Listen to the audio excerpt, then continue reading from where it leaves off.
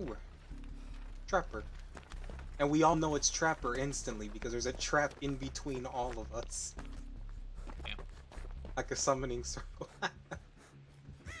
They were trying to summon the trapper. yeah. All four of us were around the trap.